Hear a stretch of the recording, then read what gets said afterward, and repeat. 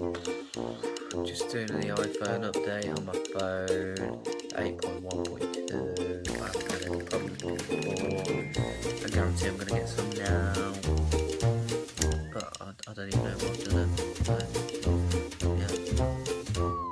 I suppose this is a before, before the before and after video.